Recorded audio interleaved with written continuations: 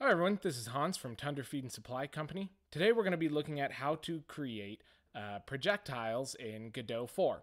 So currently we have a 2D scene here where we've got a player, which is a character body 2D, along with a sprite and a collision shape, and then an enemy, which is a static body 2D, also with a sprite and a collision shape. Um, at this stage, there's very simple logic here that just allows the player to move around with the WASD keys, and then they point at the mouse. Other than that, nothing happens. Okay, so let's get into creating a projectile. So go ahead and left click on the node 2D, and then right click to add a child node, and then from here, we're gonna type area 2D. Our projectile should be as simple as possible, so we're just interested in creating an area 2D here. So let's go ahead and click create. Okay, let's rename this to projectile. Great. So let's go ahead and add a collision shape 2D. And let's also add a sprite 2D. That way we can actually see what our projectile looks like. Okay, so for our sprite, let's go ahead and just drag the icon SVG up into it. Eh, there we are. All right, and then let's go ahead and scale this down so it's not the same size as our player and enemy. So let's go ahead and left click on projectile and then under transform in the inspector, go ahead and set the scale to something like 0.5. Okay, there we go. And now we've shrunk this down. So now let's left click on our collision shape 2D and then over in the inspector under shape, let's go ahead and assign it a shape.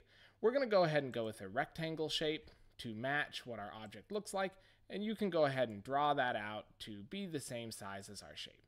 In this instance, right, it looks a bit funny because the sprite is actually drawing on top of the collision shape, but we can go ahead and move that around and you can see our collision shape there again. I'm not being super precise with it, but that's okay for now. So let's go ahead and save that. And now let's go ahead and add a script for our projectile. All of these defaults are okay, so you can go ahead and just hit uh, go ahead and click create. Now we don't need any of these. Uh, we don't need anything in the ready function, and we don't need this comment here either. And I'm going to expand this out so we can see our code better. Great. Okay, let's get rid of that. Now in here, our projectile is very simple. So let's go ahead and look at its position and inside the process function, and we're just going to say plus equal transform.x transform.x. So that's our left right direction on the screen. So transform.x, and it's going to be times speed times delta. Okay, now let's go ahead and also declare our variable speed. So const speed equals, and we'll give it a large number like a thousand so that it moves quickly. Okay, so now our, our left-right direction is going to be multiplied by our speed, and then we're multiplying that by delta. Delta is the time in between frames. So this allows our projectile to move at a consistent rate despite potentially a, um, a changing frame rate.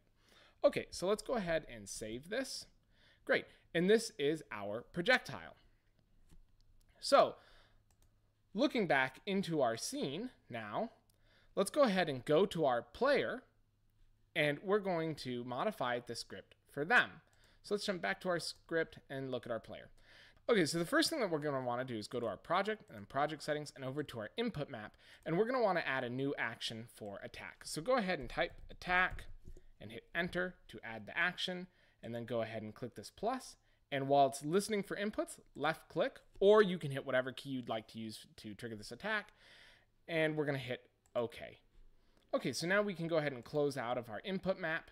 And looking into our player script in the physics process, what we're going to do is we're going to check if input dot is action just pressed, and we're going to put our attack action in there.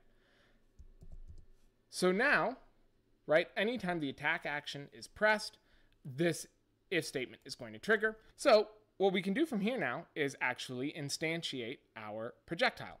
So let's go ahead and expand this so we can see the code. And under our player speed here, let's go ahead and declare a new variable at export var projectile. And this is going to be of typed packed scene. That's what Godot calls other saved uh, other saved scenes. So packed scene. Now in our if statement, let's go ahead and say var new projectile, and this is equal to projectile dot instantiate, and we're going to say as node 2D. Now the reason why even so right so this is a area 2D, but area 2D inherits from node 2D, which is why we can tell GDScript that this uh, object is a node 2D. And we want to get access to node 2D because we want those properties that node 2D has, uh, namely the transform properties, and we're going to be setting the position and the rotation of this object. So we've gone ahead and created a new object, but it's not in our scene yet. So what we need to do is get our tree, then current scene, and then from here, add child, and we're going to add our new projectile. Okay, but now our new projectile would just be somewhere in this scene. So what we want to do from here is we're going to say that the new projectile dot global position is equal to global position, right? So when we just say global position here, we're referring to this object's global position, which is the player. And we do want this to spawn at the player. Okay, and then what we also want to do is set the rotation to be the player's rotation. So we can also just again type rotation to be the player's rotation. And there we go. We've now set our, we've now gone ahead and every time we press our attack button, uh, we're going to spawn a projectile moving uh, that's pointed in the direction that we're pointed and spawning at our location. So if we go ahead and play our scene, and we move and we left click, we get an issue because instantiate is null.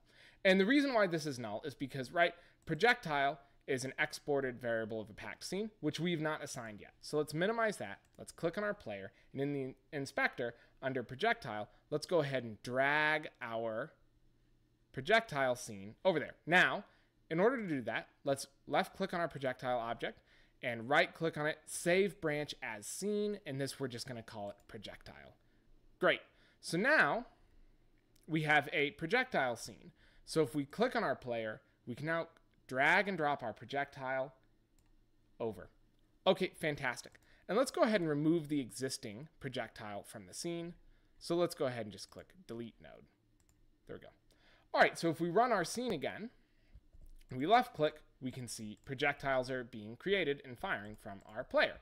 However, we would also like them to destroy uh, destroy our enemy here and destroy themselves when they hit it. So let's go ahead and X out of this.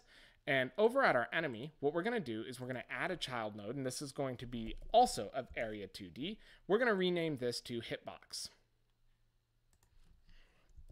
Hitbox. Okay, and the hitbox also needs a collision shape. So let's go ahead and add a collision shape to it. There we are. Okay, so let's go look at our scene here. Let's zoom on out, and let's go over here. Let's go ahead and hide the collision shape right now. And then for here, for the hitbox's collision shape, let's add a new rectangle shape so that we can see here. And we'll drag this out. Okay, great. And let's go ahead and we can make this visible again as well. So there we are. So here's our enemy hitbox now. Now something else that we want to do is under our collision, rather than the hitbox being on layer and mask 1, we want it to be on uh, layer and mask 2. Right, so this is the layer that our projectile is going to be on. So while we're doing that, let's go ahead and look at our projectile. Let's go ahead and open up our projectile scene and click on our projectile and go to collision and switch the layer and mask to 2. Now the reason we want to do this is because we don't want our projectiles to interact with our player, which is on layer and mask 1. So now that the projectile is on layer mask 2, let's go ahead and save that. And let's go back over to our other scene and save this scene as well. Okay, great. So now we're also going to attach a script to our hitbox and we'll leave it as hitbox. Okay, so we don't need our ready function and we don't need our, and, and we're not going to need our process function either.